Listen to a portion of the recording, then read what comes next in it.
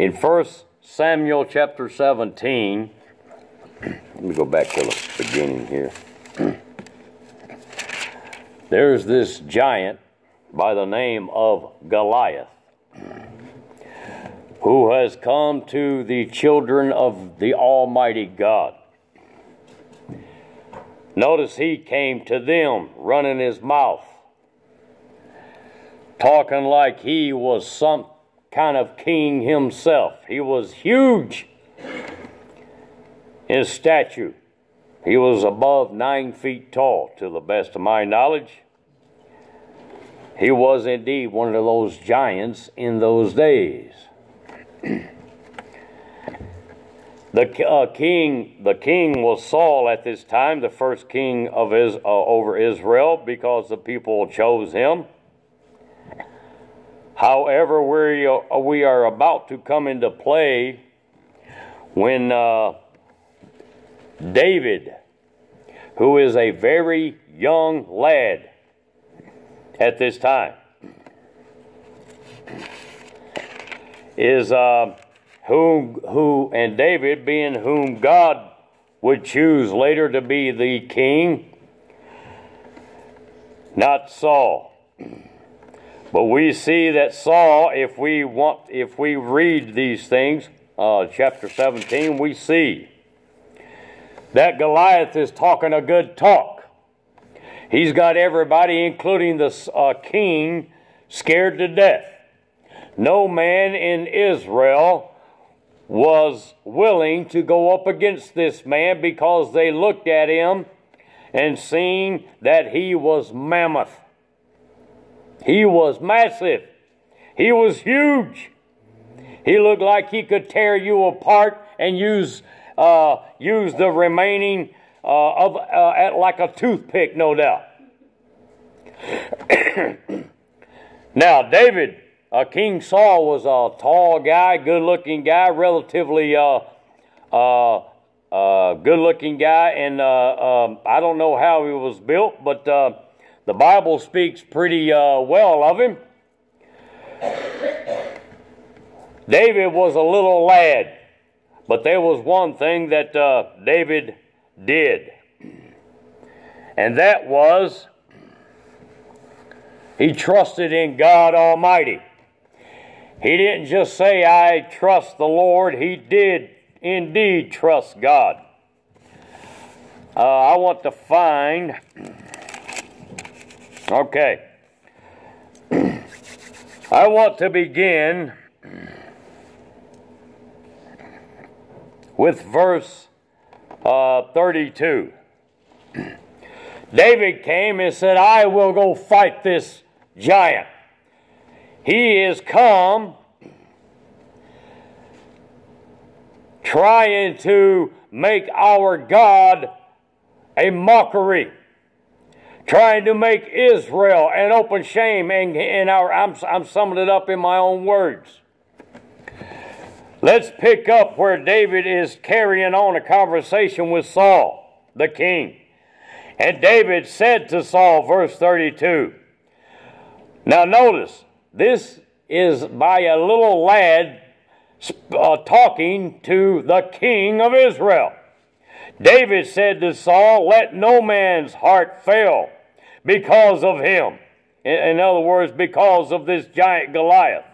David says, Thy or your servant will go and fight with this Philistine, talking about himself. And Saul said to David, Thou art not able to go against this Philistine to fight with him, for thou art but a youth, and he is a man of war from his youth. And David said unto Saul, Thy servant kept his father's sheep. Now, David was keeping his dad's sheep. That's all, that's all he was doing. He was a little shepherd boy. And there came a lion and a bear and took a lamb out of the flock. David said, And I went after him and smote him and delivered it out of his mouth. And when he arose against me, I caught him by his beard, talking about the lion, and smote him and slew him. Thy servant slew both the lion and the bear. And this uncircumcised Philistine, or Philistine, whichever way you say it, shall be as one of them, seeing he hath defiled the armies of the living God. So far, little David is, is talking courageously, is he not? But see, David knows one thing.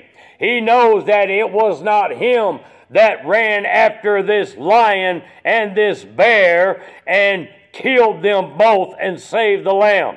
He already knows that it was his God that he served that delivered this lion into his hand. He knows already beyond doubt that this God that he serves delivered the bear into David's hand to be slain. David knows this. And what was the bear? What was the lion? It was the enemy.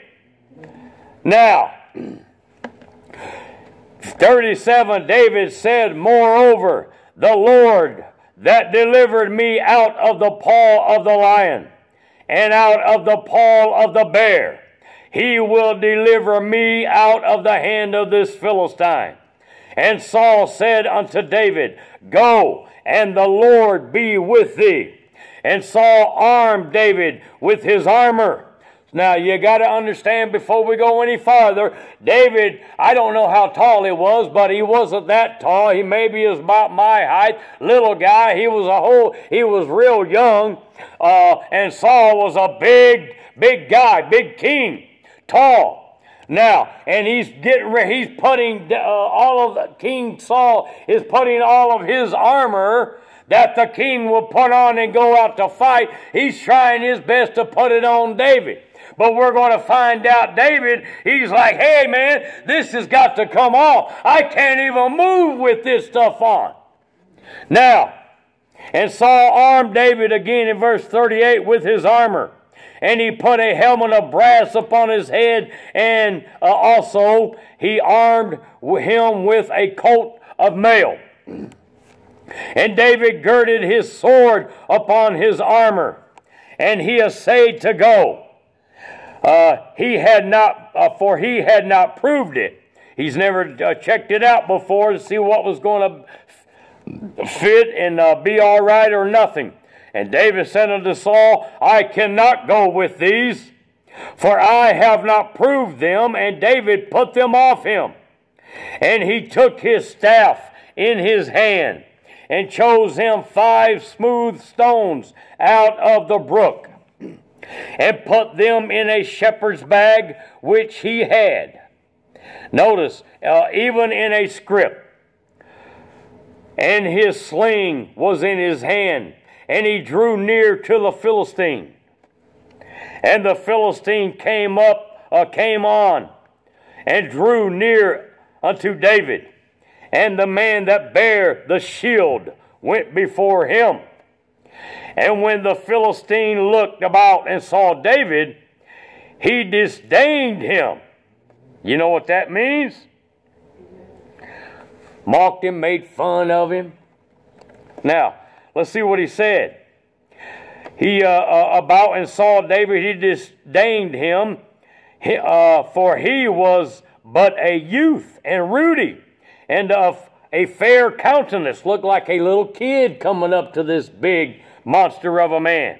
And the Philistine said unto David, Am I a dog that thou couldst uh, comest to me with staves or sticks? Uh, and the Philistine cursed David by his gods.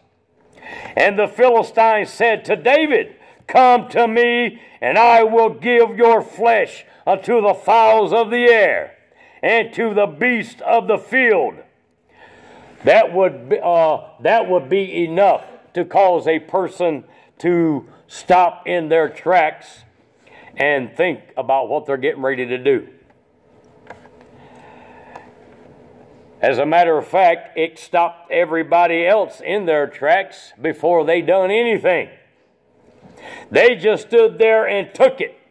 They just stood there and let this man uh, profane the Lord their God. Nobody had the gall or the nerve or the faith to stand up on the behalf of their God. How many times has God said, I will fight your battle for you. I will go before you. I'll be not afraid. He told Joshua this. Don't you be afraid. Don't you be dismayed, but you be of courage. He's not only said that, the Lord added the word strong before he told Joshua this. You be of strong courage. You be of good courage. For the Lord your God it is that will go before you. Now, in the Phil, okay, in verse uh, 45, then David said to the Philistine, Thou are you come to me with a sword and with a spear and with a shield, but I come to thee, or you, in the name of the Lord of hosts, the God of the armies of Israel, whom thou or you have defiled. This day, listen at the brave words that comes from this little uh, lad's mouth. David said, This day will the Lord deliver thee or you into my hand, and I will smite or kill you and take your head from you. And I will give the carcass of the host or of your body, the Philistine, this day unto the fowls of the air and to the wild beasts of the earth, that all the earth may know that there is a God in Israel. And this and, and all this assembly. In other words, and everybody standing here with me and over there on your side right now will shall know that the Lord saveth not with sword or spear, for the battle is the Lord's, and he will give you into our hands. And it came to pass can you imagine, church, how the king and Israel must have been standing there, uh, uh, biting their nails, so to speak, because up until here's a little small boy going out to fight this giant, and he's telling him, exact, no, I'm not going to be delivered into your hands. You're not going to do anything to me. God Almighty, He's going to turn it around, buddy. He's going to give you into my hands before your company and before all of Israel. And we're going to see today because God is going to show you and me and everybody else around that He and He alone is God. And beside Him, there is absolutely no other. How many times, church, have somebody come up against you and caused you to back away or back down in coward and run from them? A brother, once upon a time, I don't mind to say uh, when I first became a Christian man, I was uh, uh, I I always dreaded uh, once in my life at a specific time upon a specific job. Even though I was a child of God, I hadn't been a child of God very long. But there was one guy uh, that was over me in the shop, uh, brother. When it came uh, to my job outside of the house of God, uh, before I came and to be a preacher of the Lord. Every time he come in, uh, just the thought of him showing up uh, filled me with nothing but dread. And I wanted to go home before he came. Oh, but praise be to God and thanks be to God. Uh, the Lord uh, uh, gave me the courage uh, to begin to stand firm upon his word and not let this man bother me in any way. He came to the point until he was an Italian man, a full of a red face, and his blood pressure was high exceedingly every time he turned around. Uh, the first day I started that job, I remember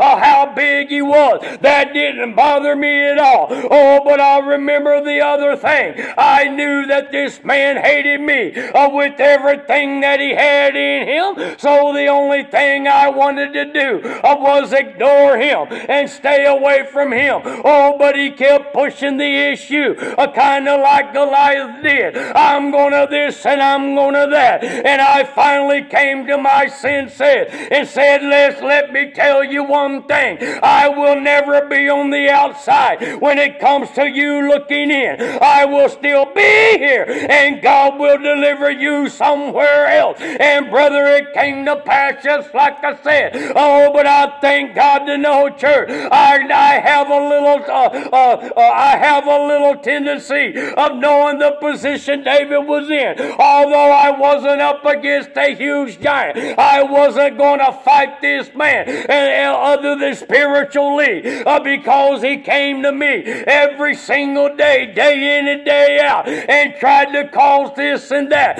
I finally delivered everything into my God's hand, and He took care of everything because Finally allowed my God to go before me and to make the path straight and to fight the battle for me on my behalf when I couldn't do a thing, didn't know what to do, didn't know what to say, didn't know how to act, what to present. I just had become a child of the King not too long before. So I was tested almost immediately, given another job that uh, everything was much better. The pay was uh, very high compared to where I was. I took it, but I had to endure so much. But at the same time, I remained true and faithful unto God. And I even told uh, uh, uh the people uh, that did not like me, and there was a few. People began to ask me after they seen that I was not going to be detoured from where I stood. I that was a time in my life, church, believe you me, I had to pray constantly for uh, the hand of God to always be upon me and to be upon me. I begged and pleaded mightily, God, that I might be able to stand uh, for you and upon your word at all costs. And brother, God help me to gird up my loins and to stand firm and hold fast and gave me the boldness to do just that. And brother, ever since that time, they've been been people trying to come at me, they're trying this and trying that. Oh, but I thank God to know a church, we have to learn how to do that. We need to learn and have to learn how to trust God, regardless of what the circumstances may look like. Uh, because just like David here, uh, the devil brought forth uh, something that looked to be huge and tremendous. Uh, but David still stood upon the word of God. It does not matter how I look unto you. Today is the very day God's going to deliver you into my hand. And brother, we, are going to see, uh, everybody's going to see, including the people that are with you, uh, that I'm going to uh, dislocate your head, take your head from your body. And brother, everything that you think you are is going to be fed unto the fowls of the air. And people will begin to see once and for all that God God is going to fight this battle. I'm here. You come to me with your big, huge sword that I can't even lift up hardly. And you come to me with your full armor and your big, massive shield. I come to you in the name of God, the God of Israel. That's all he came to him with. No armor on little David. Got a little slingshot and five little pebbles. That's all he's got. I think it was five. He just picked them up. Now, and when David threw that, uh, uh, put that in there and slung it, it was God that directed that right exactly where it needed to go to bring down the uh, enemy of God's people. God will do it. All right. 48. And it came to pass when the Philistine arose and came and drew nigh to meet David, and David hasted. He hurried and ran toward the army to meet the Philistine. That, and now David wasn't like, oh, hey, I was kidding, I was kidding. But he, David meant what he said, and he took right off in the direction of this big Philistine. He ran straight towards him. He wasn't about to back away because he had faith in his God. If we do not have faith in our God, we will back away every single time. Church, before we go on, how many times has it come to you where the hand of the devil has been able and allowed by the Lord uh, to withhold things that are good uh, from you just for a little while? Uh, brother, your faith will be tested because God already said it will. It will not be God that tempts any man because God tempts nobody, neither is he tempted by sin. But how many times has uh, the devil been allowed to bring a position or a situation into your life uh, to cause you to start doubting, even when you're praying and crying out uh, to God Almighty? It seems like it only gets worse and worse. Hold on, church, and keep the faith in God, because the Word of God cannot be uh, uh, uh, cannot be taken away. the Word of God cannot be changed. And if God and God cannot lie, and brother, He will never, eh, because He cannot go back upon His word. If He said, "I will go before you," you can believe that with everything in you. It will be God Almighty. Just continue to hold on. Continue to pray unto Him. He sees your every need. He knows how desperate times are. He knows what you're in need of. And brother, He will not see your children go hungry one way or another. Praise God. He'll take it from the rich if that's what He has to do uh, to make sure His people are filled with the goodness that come down from Him in the beginning. God will never leave under any circumstances. Nobody can make God run. And God showed this, did He not, in a little lad they're going to run towards this massive uh, uh, warrior. From his youth, he's been trained to kill and fight. That's all he's about. And now he's huge.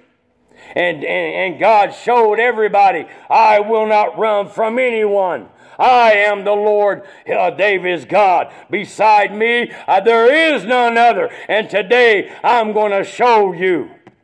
David had faith it looked like David had no hope to the regular eye. How many times have you been in that position? There is always hope when a child of God comes into play and when a child of God holds on to his God.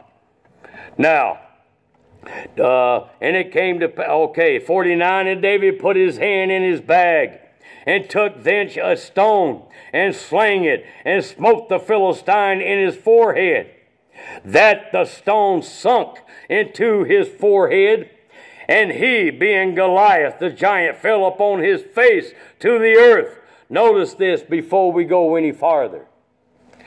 David didn't even David did not, it does not tell me that the, uh, the thing I see David do before he takes this little uh, stone out of the bag, puts it in the sling, and let it rip. Uh, the last thing I see David doing is running with everything in him towards this big, ma- uh, massive warrior. And while he's running, he's, and God directs everything. This man falls. David did not have to lay a hand on this enemy. Notice that. Did not have to go and touch him, lay a hand on him at all. God brought him down. God says, I will cause those that hate you to bow down unto you. It, it don't say it in those words, I'm paraphrasing it, but that's what God uh, tells you and I. I will cause them to serve you. All right, David put his hand in his bag. I'm going to, uh, 50. So David prevailed over the Philistine with a sling and with a stone, and smote or killed the Philistine and slew him. But there was no sword in the hand of David. Therefore David ran and stood upon the Philistine and took his sword and took out the uh, Philistine's massive sword and drew it out of the shelf thereof, and slew him, and cut off his head therewith, or with it. And the Philistines saw their champion was dead, they fled. Look at that. One person, one person had all of Israel shaken in their shoes. biting their nails, no doubt. Even had the king to where he wasn't man enough, couldn't find it in him to be the king that he needed to be at that time. Here come a little lad, David. God used that little lad for mirac- uh, miraculously before the eyes of everyone, did he not? Did not have to lay a hand on the enemy, the whole enemy of all of Israel, or the enemy of the, all of Israel.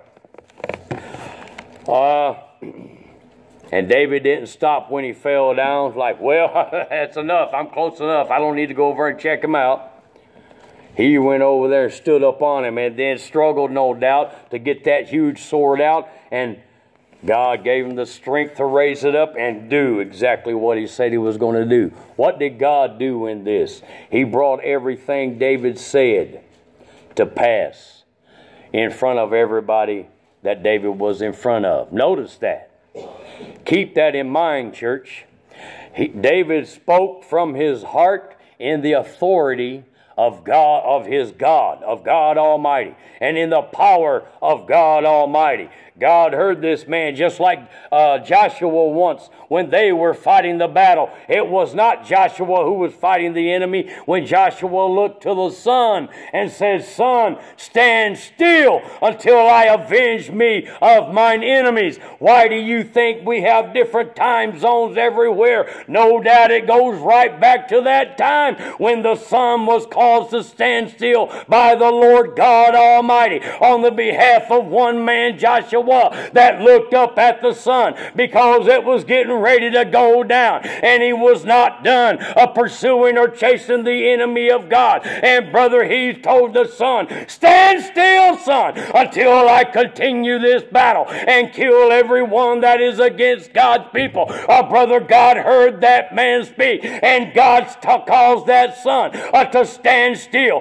until the time came when the enemies were all in the hands of Joshua Joshua God's man. And brother, God did it to David, did he not? He did not cause anything like that, but he delivered the enemy into the hand of David. I think the king's name once upon a time, if I mistake not, was Hezekiah. A God, a, a God appeared unto him and visited him while he was upon his bed of affliction and said, Hezekiah, uh, the time has come. Get your house in order because you're getting ready to go out of this world. And Hezekiah prayed unto God. And brother, God heard that man and gave him 15 extra years. And when the, uh, and when the man came into the room of Hezekiah uh, and tried to get Hezekiah to believe of that his prayer was answered, he said, Hezekiah, ask of me, or ask of God rather, uh, that if the sun should move forward 10 degrees, or should it move back? Uh, I mean, uh, move forward 10 degrees And, and Hezekiah said, No, it's easy for the sun to go forward 10 degrees, uh, but have it move back 10 degrees, and I will know beyond doubt. And brother, no doubt him, uh, uh, uh, uh don't let no doubt be in your mind. God heard the prayer of that man and turned that uh, turned the sun backward uh, 10 degrees and another effect on the time zone somewhere, no doubt. Everything has its purpose. Everything can be explained uh, why it's like, how is it daylight there and it's dark here?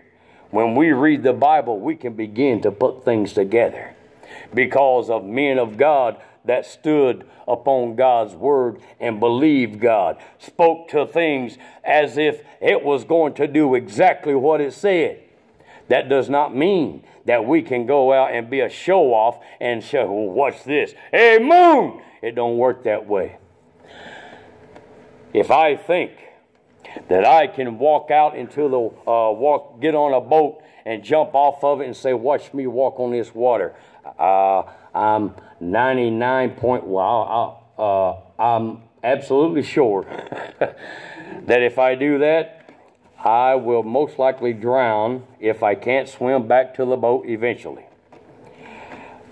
But because I shall not tempt the Lord my God. Amen.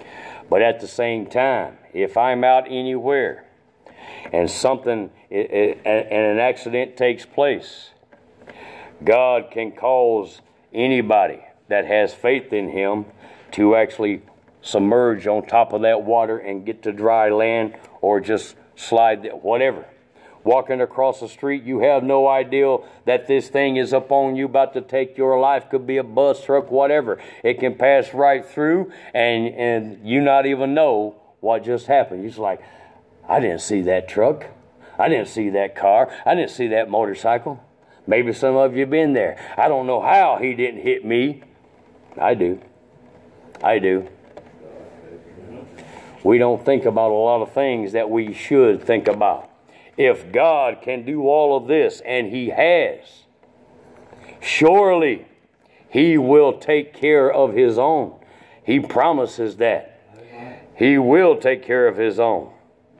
Now, uh, there, let's see, off his head on 51, uh, he cut his head off and uh, everybody fled. One man went down. and now let's see how fast the tables have turned. See how fast God has made a name before the enemies and before his own people.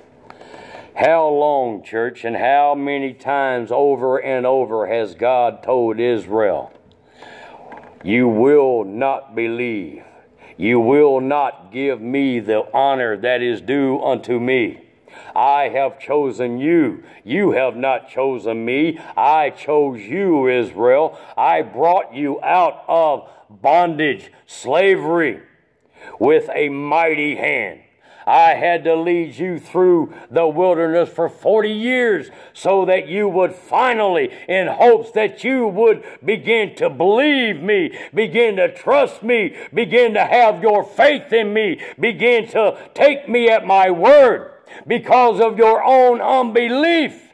You had to spend 40 years in the wilderness. And when the time came, I parted the Red Sea. You did not walk on a, a muddy sea, muddy land, muddy ground. You walked on dry ground and you and you everybody came through. And when i told when your enemy came into it trying to uh, subdue you and chase after you i told you to look upon these people for you shall see them no more. God did all of that for his people. Moses told the people behold Look upon the enemy, for God says you will see them no more. The waters came in drowned the horses, every man in the chariots. And uh, the movie will say Pharaoh made it out alive, but the Bible tells me Pharaoh was right in that, if I'm not mistaken. I've seen both movies. I see all kinds of movies, but I'll take the Word of God over any kind of movie. No matter how close they might come to getting somebody to understand what